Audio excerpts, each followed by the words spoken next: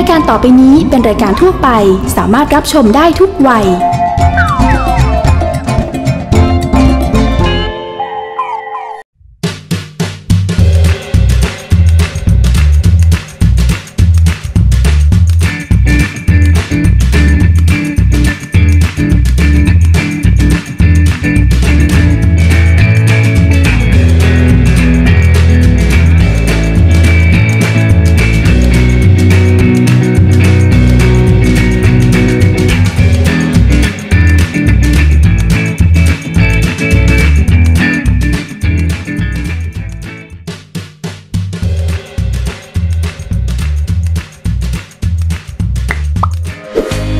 สายหวานคนไหนนะครับที่หลงไหลการถ่ายรูปนะครับและจิบกาแฟกับชิมขนมอร่อยๆ ในวันหยุดแบบนี้ ต้องไม่พลาดนะฮะกับที่นี่เลย Hidden Backyard Cafe and Hangout นะครับกับบรรยากาศในสวนหลังบ้านสุดชิลนะครับเป็นกันเองเหมือนเข้ามานั่งอยู่ในที่บ้านเพื่อนอย่างนั้นเลยนะฮะ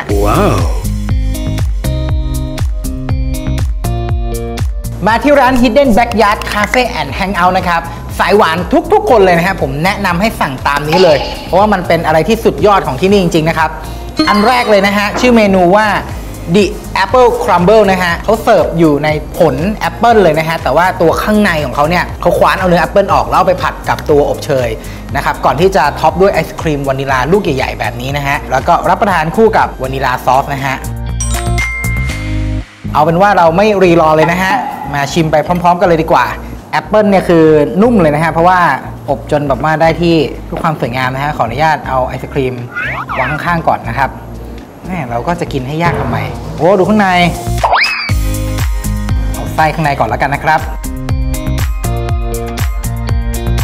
ต้องบอกว่าตัวแอปเปิลของเขานะครับ มีกลิ่นหอมจริงๆนะฮะ แล้วรสชาติหวานกำลังดีแอปเปิลของที่นี่เนี่ยพอเอาไปผัดกับตัวอบเชยแล้วนะฮะ ยังมีความกรอบนิดๆของแอปเปิลอยู่ คือยังรักษาสภาพความเป็นแอปเปิลได้ดี แล้วก็ความหวานของแอปเปิลก็ออกมากำลังดี อันนี้คือแบบว่า perfect เลยนะฮะใครที่ชอบทานไอศครีมนะฮะเขาจะมีไอศครีมวานิลา ทานคู่กับตัว crumble ของเขานะครับ แล้วก็ตักตัวแอปเปิลมาอีกนิดนึงนะฮะ อันนี้ก็คือเป็นแบบครบจบในคำเดียว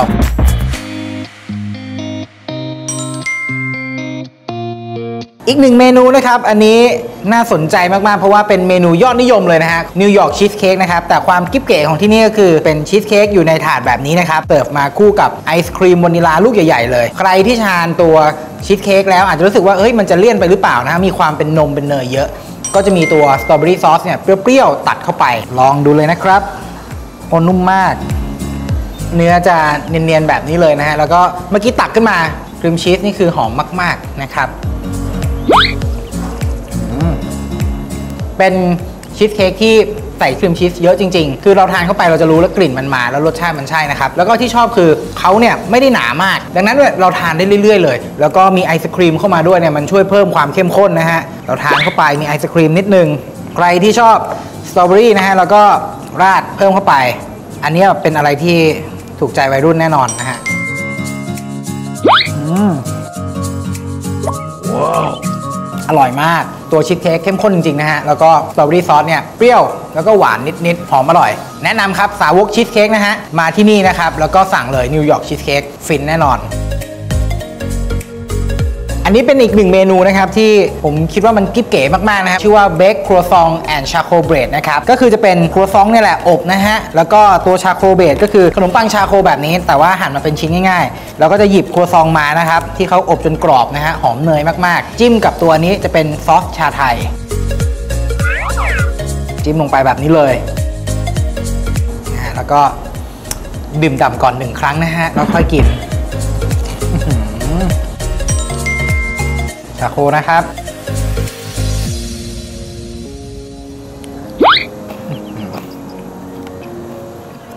ก่อนอื่นเลยต้องบอกว่าตัวครัวซองของเขาอะ เป็นครัวซองที่ดีมาก ๆ เนยเนี่ยมันหอมมันชัดมากมันอร่อยจริงๆซอสชาไทยหวานแต่ว่าไม่หวานมากมันเข้ากันดีจริง ๆ กับตัวครัวซอง ส่วนชาโคนะครับบอกได้เลยว่าหั่นเป็นสี่เหลี่ยมแบบนี้นะครับกรอบนอกนุ่มในอยู่นะครับแล้วก็เจอกับตัวซอสชาไทย อันนี้ฟินแบบไร้ที่ติเลย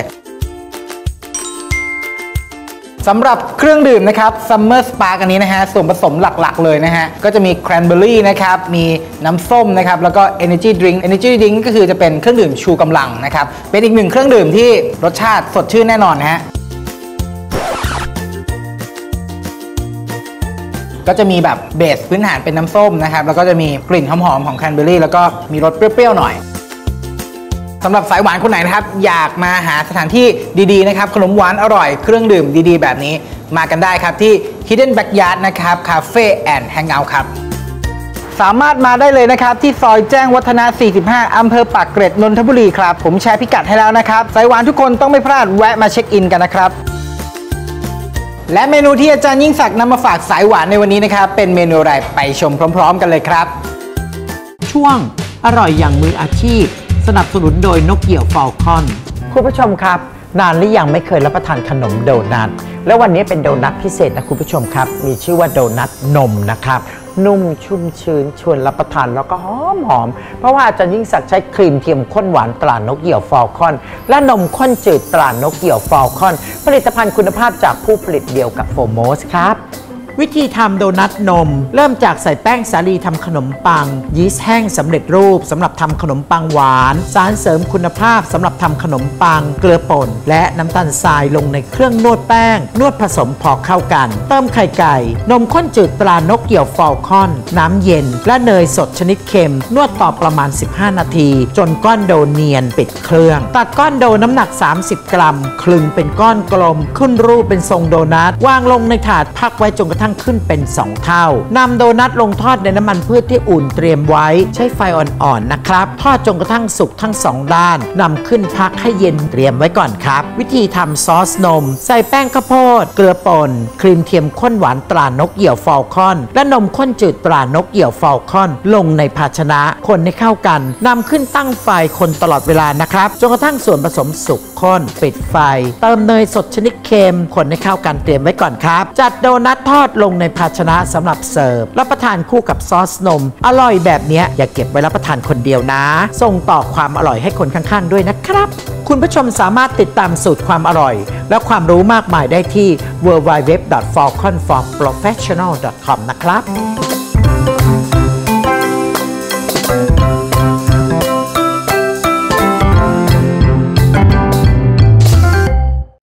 และช่วงหน้าอาจารย์ยิ่งศักดิ์มีตำรับเด็ดมาฝากคุณผู้ชมครับ คัพเค้กสตรอเบอรี่นม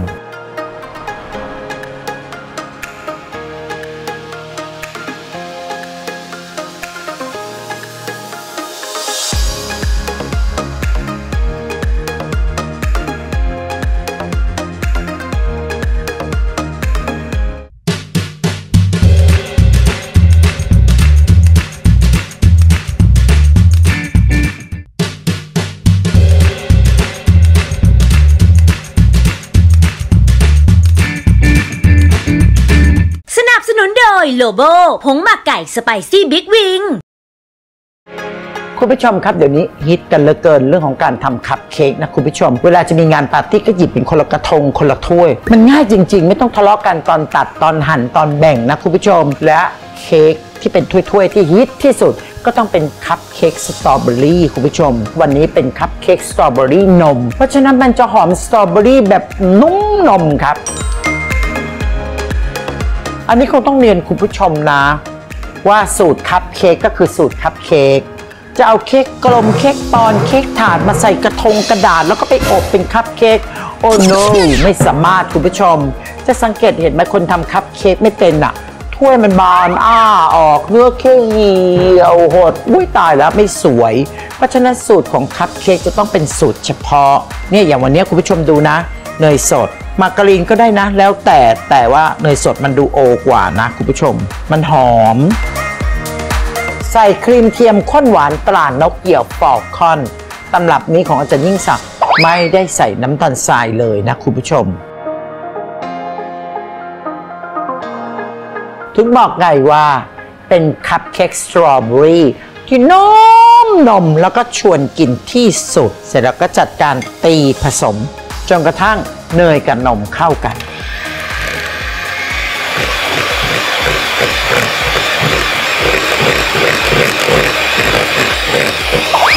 กลิ่นนมหอมมากพอส่วนผสมเข้ากันดี คุณผู้ชมเราก็ใส่ไข่ไก่ตุ้มเดียวลงไปเลย คุณผู้ชมไข่เย็นจัดๆ เป็นไข่ไก่สูตรธรรมชาติตราด็อกเตอร์เฮน มันดูง่ายดายเหลือเกินนะคุณผู้ชม อยากให้สีสวยเหรอนี่สีชมพูว้ายเป็นสตรอเบอรี่แล้วเห็นนะป้ายังไม่หอมสตรอเบอรี่เหรอ กลิ่นสตรอเบอรี่ มาทั้งไร่เลยคุณผู้ชม เอาละ เราจะต้องเลือกใช้แป้งที่ถูกต้องกับการทำคัพเค้กวันนี้ใช้แป้งเค้กตราริบบิ้นนะคุณผู้ชม ตามด้วยเกลือป่นนิดนึงผงฟูหน่อยนึง ต้องไม่ลืมคุณผู้ชมกล่องนี้ด้วย นมข้นจืดตรานกเหี่ยวฟอลคอน ผลิตภัณฑ์คุณภาพจากผู้ผลิตเดียวกับโฟร์โมสต์สนะคุณผู้ชม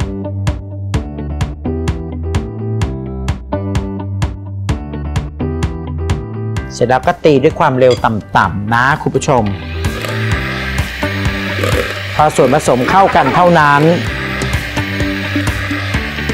เห็นไหมตายเป็นสีชมพูกลิ่นหอมนมกับสตรอเบอรี่มันเข้ากัน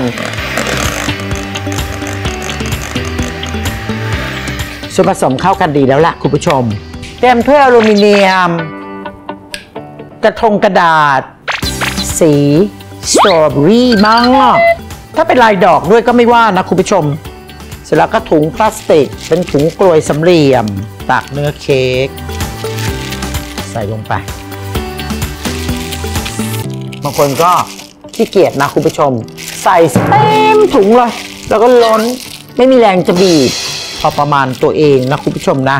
เสร็จแล้วก็ตัดจะหลดลงไปตรงกลาง ขนมชนิดนี้จะขึ้นไม่ค่อยเยอะ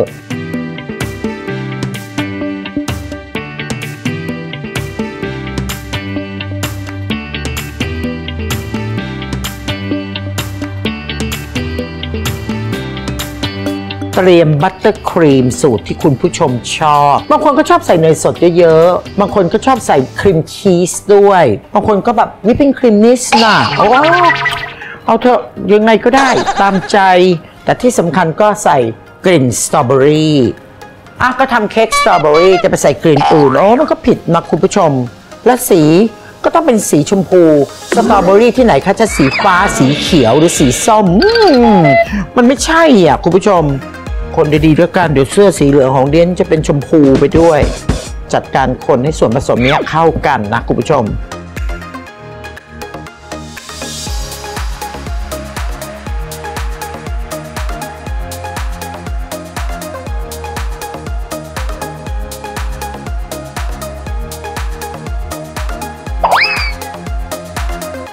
อุ้ยเลิศจะไม่ต้องทำอะไรมากคุณผู้ชม บีบแล้วก็อยู่เฉยๆแล้วก็เป็นทรงของเขาเอง แล้วก็เลือกสตรอเบอรี่ผลที่ดูช้ำชอกน้อยสุด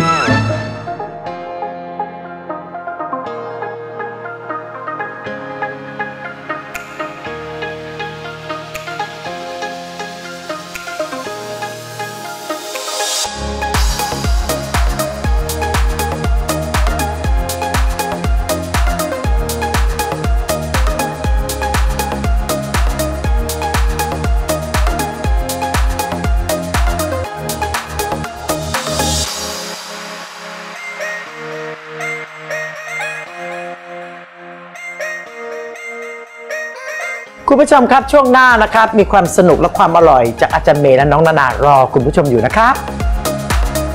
อดเปรี้ยวกินหวานสัปดาห์นี้ สายหวานที่ชอบทานผลไม้สด รับรองว่าฟินมากกับเมนูของเราสองคนแน่ๆ กับชื่อเมนูว่าเค้กผลไม้สดค่ะ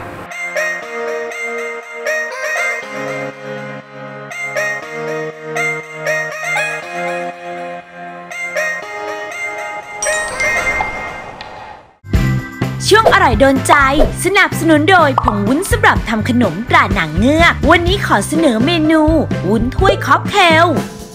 วิธีทำวุ้นหลากสี เริ่มด้วยใส่ผงวุ้นสำหรับทำขนมตราหนังเงือก น้ำตาลทราย เกลือป่น และน้ำ แล้วขึ้นตั้งไฟ คนตลอดเวลาจนส่วนผสมเดือดทั่ว แล้วปิดไฟ แบ่งส่วนผสมเป็น 4 ส่วน ผสมสีผสมอาหารที่เตรียมไว้ คนให้เข้ากัน เตรียมไว้ค่ะ วิธีทำวุ้นนม ใส่ผงวุ้นสำหรับทำขนมตรานางเงือก น้ำตาลทราย และนม UST รสจืด ลงในภาชนะแล้วนำขึ้นตั้งไฟ ตักวุ้นสีลงในแก้วเสิร์ฟ รอจนวุ้นเริ่มทรงตัว ตักวุ้นนมใส่ รอวุ้นเริ่มทรงตัวอีกครั้ง ตักสลับกันจนได้ 3 ส่วน 4 ของแก้วเสิร์ฟนำเข้าแช่เย็นจนวุ้นทรงตัวดี ตกแต่งด้านบนด้วยลูกชุบให้สวยงาม พร้อมเสิร์ฟค่ะ กับเมนูวุ้นถ้วยค็อกเทล เมนูโดนใจจากผงวุ้นสำหรับทำขนมด่านางเงือก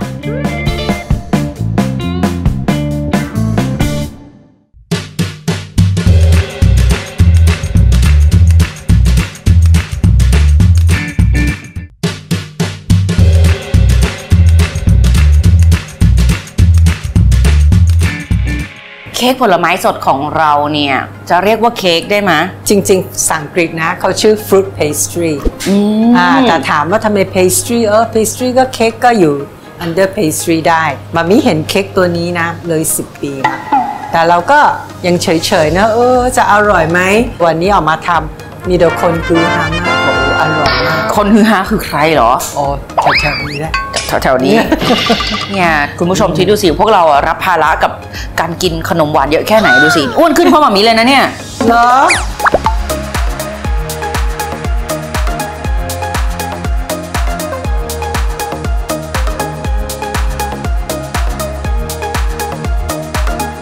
ขั้นตอนแรกของเราในการทำตัวเค้กผลไม้สดของเราเนี่ย เราจะทำ buttermilk ก่อน ใช่ buttermilk ปกติเนี่ย ถ้าเกิดว่าไม่ทำเองซื้อก็ได้ แต่ว่าราคาสูงแล้วก็หาซื้อยากในประเทศไทย มีวิธีการทำง่ายนิดเดียวเองค่ะ เราเลิกใช้นมข้นจืดตรานกเหยี่ยวฟอลคอน ผลิตภัณฑ์คุณภาพจากผู้ผลิตเดียวกับโฟโมส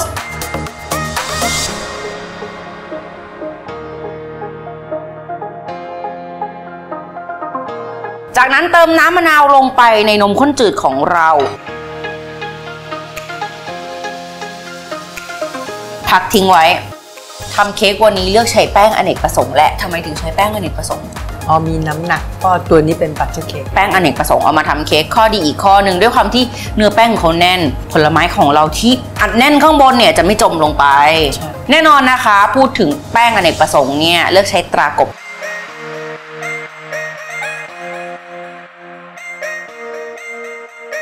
แป้งข้าวโพดผงฟู นี่นี่อยากให้ทุกคนดูส่วนผสมตัวนมข้นจืดของเราเนี่ยมีลูกๆแบบนี้แล้ว นมข้นจืดกับน้ำมะนาวของเราอยู่ตรงนี้แล้ว เราใส่กลิ่นวานิลาชนิดน้ำลงไปตอนนี้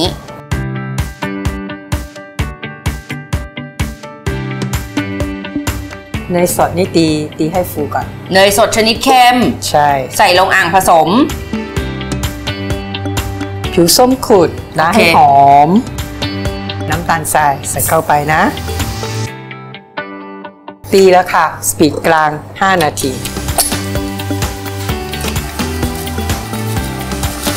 พอให้เขาเข้ากันก่อน ถึงจะสปีดกลาง เข้ากันแล้วเนาะ สปีดกลาง 5 นาทีค่ะ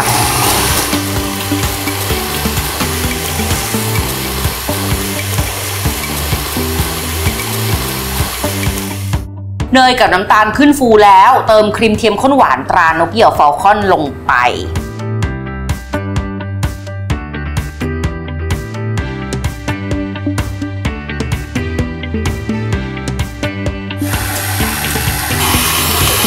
ใส่ไข่นะคะทีละฟอง ไข่ไก่สูตรธรรมชาติตราด็อกเตอร์เฮนค่ะ ค่อยๆ ใส่ลงไปทีละฟอง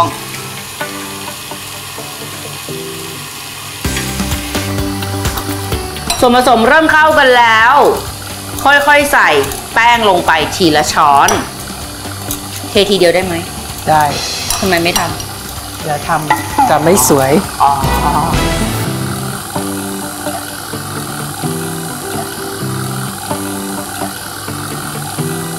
เราก็ใส่นมเข้าไปเลยนะ อืมเหมันโยเกิร์ตเลยนะ ใช่ค่ะ พอเราเริ่มเข้ากันใช่ไหมเร่งเท่านิดนึง โอเค ปิด นี่ใช้ได้เลย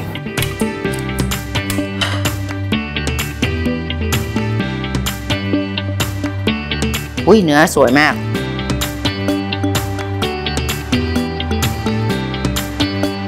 เนื้อเค้กแล้ว ใส่พิมพ์ตามชอบ วันนี้หมามีเลือกเป็นพิมพ์ซิลิโคนทรงกลม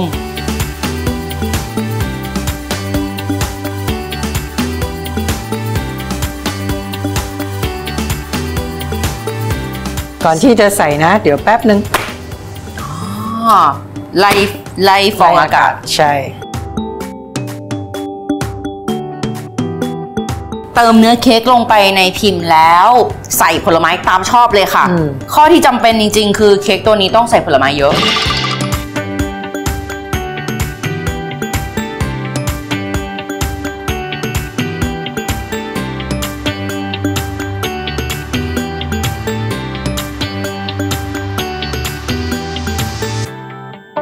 อัดแน่นด้วยผลไม้ขนาดนี้แล้วนำเข้าเตาอบค่ะ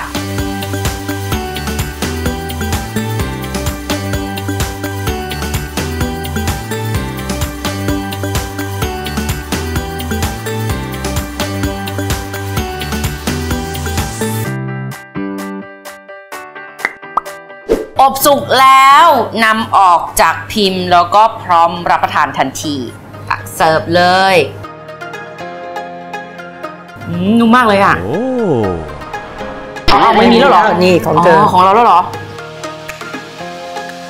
ก่อนเสิร์ฟโรยไอซิ่งนิดนึงนะ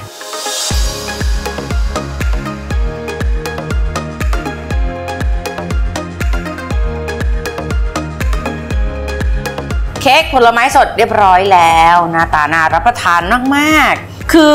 ตรงเนี้ยหอมสใช่ดๆ คือหอมกลิ่นเบเกอรี่อบใหม่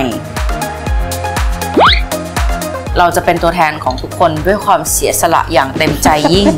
โอเคอืมอืมชิ้นนี้ของเราเนี่ย ฝั่งนี้จะเป็นสตรอเบอรี่บลูเบอรี่แล้วก็มีพีชอยู่ข้างบน moist and delicious ผลไม้มันร้อนแล้วมันดีดเข้าปาก สดชื่นมากมันเป็นกลิ่นแบบกลิ่นหอมๆของผิวส้มอะ มันดีอย่างนี้นี่เองเวลาเราขูดผิวส้มใส่ลงไปอะ ใช่ ไม่อยากหยุดเลย ก็หมดสิคะ ได้ใช่ไหมะได้ ผลไม้หมดแล้วอะ อืม ก็เติมได้ แค่ของคนอื่นมาได้ไหมไม่ ไม่ได้เหรอ ไม่ได้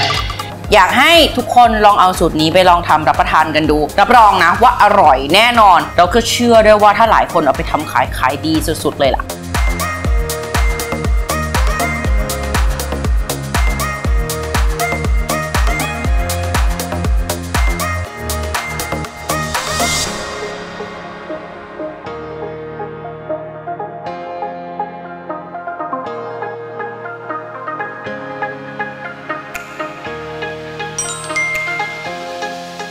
กินหวานสัปดาห์นี้หมดเวลาลงแล้วล่ะคุณผู้ชม สัปดาห์หน้ายังคงมีเมนูอร่อยอร่อยมาฝากสายหวานให้ได้ฟินกันอีกเช่นเคย อย่าลืมติดตามชมกันนะคะ กลับมาพบกับพวกเราได้ใหม่ในรายการอดเปรี้ยวกินหวานทุกวันเสาร์เวลาเที่ยงถึงเที่ยงครึ่งทางไทยรัฐทีวีช่อง 32 เก่งมาก วันนี้นานาและอาจารย์เมย์ขอตัวลาไปก่อน สวัสดีค่ะสำหรับสายหวานทุกคนนะฮะผมแนะนำเมนูแสนอร่อยตามนี้เลยนะครับ ไอศครีมของเขาเนี่ยโฮมเมดรสนมฮอกไกโดอันนี้ชูรสชูโรงเลยตั้งใจทำมาฝากคุณผู้ชมจริง ๆ มันน่ารักน่ารัก เราเรียกชื่อว่าคุกกี้แตงโมแบบจินตหราเลยนะคุณผู้ชม เนื้อเค้กชิฟฟ่อนนุ่มมาก แล้วก็ทุกคำที่กัดเข้าไปหอมชาไทย ยิ่งทานคู่กับครีมเย็นๆ ข้างบนเนี่ยนะ อร่อยค่ะทำกินก็ได้ทำขายก็ดีแน่นอน